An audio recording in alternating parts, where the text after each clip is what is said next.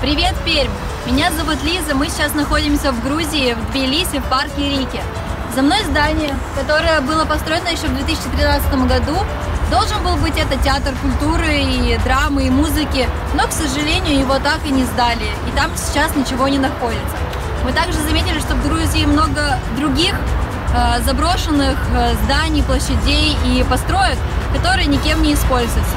Как вы думаете, стоит ли их сдавать в аренду и достраивать или стоит снести?